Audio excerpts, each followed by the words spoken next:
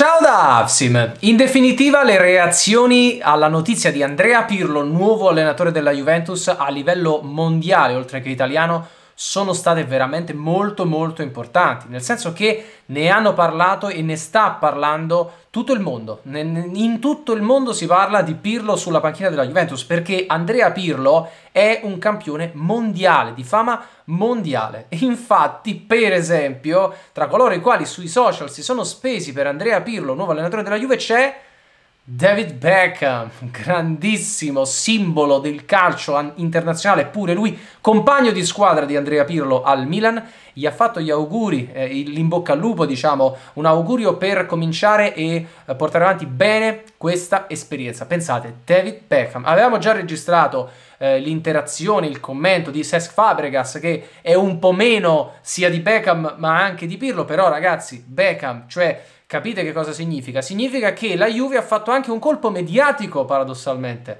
Ha preso il CR7 della panchina. No, sul serio, non sto scherzando, non è Guardiola, non è Zidane, però stiamo parlando di un ex giocatore che come allenatore è ancora zero, eh, questo è chiaro, bisogna ancora una volta rimarcarlo, però dal punto di vista dell'immagine è tanta roba, è ad altissimi livelli. E quindi adesso tutti sanno chi è l'allenatore della Juventus, mentre prima magari non era così, perché Sarri certamente ha meno fama di Andrea Pirlo, così come Allegri, su questo non ci sono dubbi. Poi è chiaro che con il tempo le cose possono cambiare, puoi acquisire visibilità, ma da un punto di vista, ecco, anche eh, de- dell'immagine, da un punto di vista della credibilità eh, calcistica della Juventus, la scelta ricaduta su Andrea Pirlo può avere dei vantaggi anche in tal senso.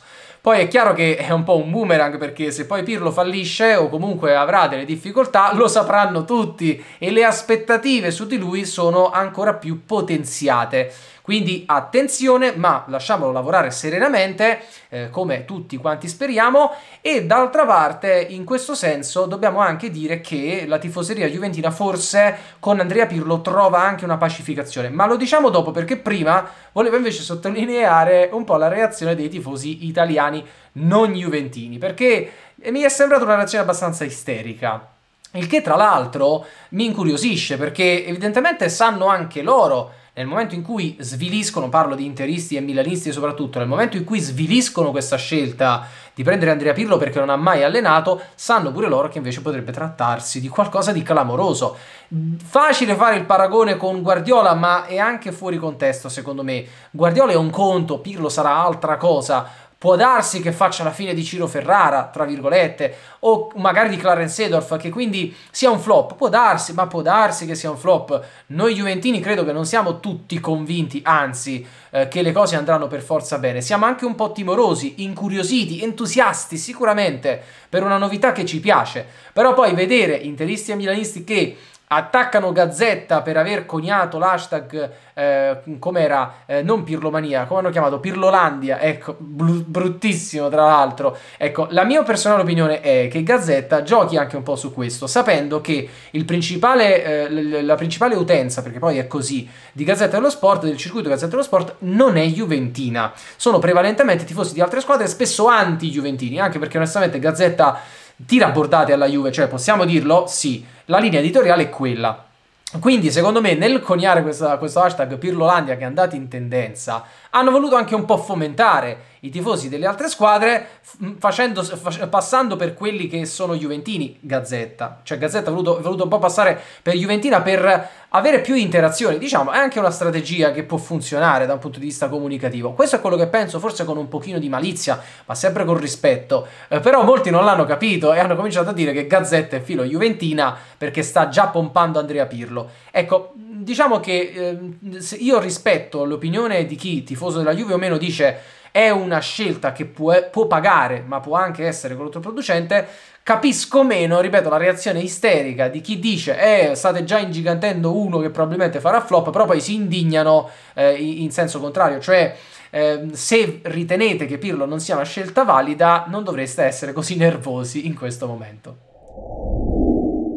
Ma d'altra parte, eh, i tifosi della Juventus forse possono smettere di essere nervosi e attaccati eh, l'uno contro l'altro eh, in questo contesto con la scelta di Andrea Pirlo. È una speranza, ma è anche già una constatazione.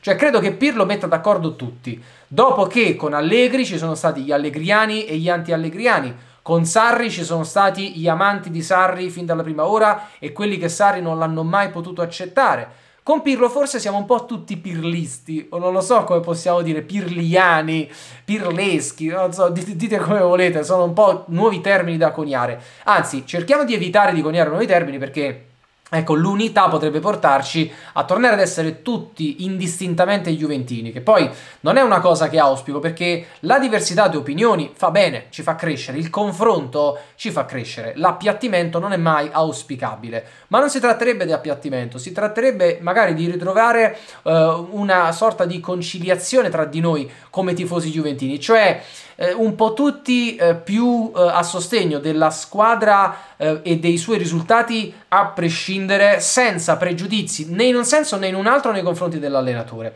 La reazione da questo punto di vista del popolo juventino a me è piaciuta perché non ci sono stati degli estremismi. C'è stata grande moderazione. Eh, chi ha avuto l'entusiasmo ha avuto però anche l'accortezza di sottolineare come po- può essere anche un salto nel vuoto ed è un rischio perché è stata una scelta coraggiosa. Chi invece è stato più scettico, come a dire ma come avete preso un allenatore che non ha mai allenato, però insieme ha detto eh però si tratta di Andrea Pirlo, tanta roba e magari ha anche accostato l'immagine appunto di un Guardiola o di uno Zidane. Quindi in questo momento la tifoseria juventina ritrova unità ritrova unione e coesione, che è una cosa molto importante che ci è mancata in questi sei anni, ma forse pure prima con Conte, devo dire. Eh. Io, per esempio, ricordo che nel 2014 ho, ho finito per essere un po', eh, un, un po', contrario ad Antonio Conte per il suo atteggiamento, per quel fatto di pensare ai 102 punti invece che alla finale di Europa League in casa, per il fatto di non essere stato capace di portarci al, in avanti in Champions League, tra l'altro. Insomma, eh, poi le opinioni sono, sono sacrosante, ripeto, ognuno deve avere un'opinione eh, ci confrontiamo. Tu, diciamo che tutte le opinioni sono legittime se eh, vengono espresse in una certa maniera, ma nessuno deve per forza aver ragione sull'altro a prescindere. Dobbiamo confrontarci e anche il mio ruolo come creatore di contenuti che percepisco è questo, di darvi l'opportunità di confrontarvi e di darvi la mia opinione senza però dirvi che quello che penso io è migliore del pensiero degli altri. Spero di non averlo mai fatto. Se l'ho fatto, vi chiedo scusa. Sono stato anti-allegriano negli ultimissimi mesi perché prima ho sempre avuto rispetto del lavoro di Allegri criticandolo, ma criticare una cosa, essere a, a, opposto a, ad una persona e, e, ad una situazione è altra cosa e non sono mai stato sarriano, sono stato entusiasta sulle primissime ore del lavoro che sembrava Sarri stesse facendo, ma sono stato anche uno dei primi già a novembre a dire Sarri ha mollato la presa, non si stanno più vedendo miglioramenti. Questo per eh, dire anche come qual è stato il mio percorso, ma anche qual è stato il percorso di mediamente la parte moderata forse del tifo juventino rispetto ad Allegri e rispetto a Sarri, alla luce del lavoro, alla luce dei risultati e quindi con la giusta intelligenza nel fare le critiche che possono essere eh, sempre, possono essere spesso vantaggiose se costruttive ma anche Pirlo da questo punto di vista dovrà essere soggetto a critiche se sbaglierà, speriamo però di doverlo criticare pochissimo e che sia in grado invece di fare cose straordinarie. In chiusura però volevo fare un ultimo passaggio su Sarri, perché in tutto questo, se dal punto di vista mediatico Pirlo è un grande colpo e ce ne siamo accorti a livello mondiale, Sarri è stato praticamente calpestato in queste ore. Ci rendiamo conto che Sarri non ha, di- non ha rilasciato nessuna dichiarazione ad oggi, a questa mattina, 10 agosto? Zero. Nessun giornalista si è preso la briga di andargli a chiedere come la pensa. La Juventus non gli ha concesso dichiarazioni ufficiali. Persino Antonio Conte fu messo lì come un deportato, come un ostaggio davanti alla telecamera. Gli fu imposto perché probabilmente gli fu detto: Ah, sì, te ne voglio andare, bene, però adesso ti assumi la responsabilità e, e parli davanti ai microfoni. Ad Allegri, dopo cinque anni, è stata fatta una conferenza stampa enorme. Sarri è stato mandato via, è stato cacciato, ma proprio cacciato nel, nella maniera più, più rapida possibile. Questa non è una cosa non significativa, è una cosa rilevante di cui tenere conto. Non è praticamente mai successo, se non molto tempo fa. Eh, quindi in anni recenti la Juve ha trattato diversamente i suoi allenatori, questa presidenza, questa dirigenza ha trattato in maniera diversa i due allenatori precedenti che se ne sono andati.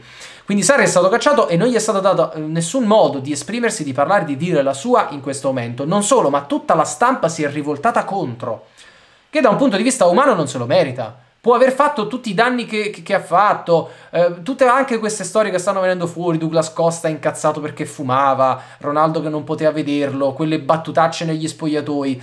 Sono secondo me tutte cose strumentali. Non voglio giudicare male il lavoro dei giornalisti o dire che scrivono cose false, perché magari sono vere. Io non ci credo molto, onestamente, a queste ricostruzioni, perché arrivano tra l'altro a orologeria. Perché fino adesso non ci avete detto che Douglas Costa detestava che Sarri fumasse? Perché fino adesso non ci avete detto che Ronaldo non riusciva a tollerare Sarri e ha detto addirittura se resta Sarri me ne vado? Perché fino adesso non ci avete detto di quella battuta o di altre battute, o se ce l'avete detto non ce l'avete ricordato precedentemente? Cioè mi sembra che sia stato veramente eh, rivoltato tutto addosso a Maurizio Sarri in maniera anche ingenerosa da parte della stampa non ha avuto praticamente stampa a favore, ma mai, mai, nonostante prima di venire alla Juve ne avesse di stampa a favore. Hanno inventato il sarrismo per lui, hanno inventato la Sarriball, lo utilizzavano come paladino anti-Juve, il grande Sarri che rappresenta il vero calcio, mentre la Juve è speculativa e pensa solo a vincere. Me le ricordate queste cose? Appena Sarri è diventato allenatore della Juve è diventato lo schifo umano e professionale.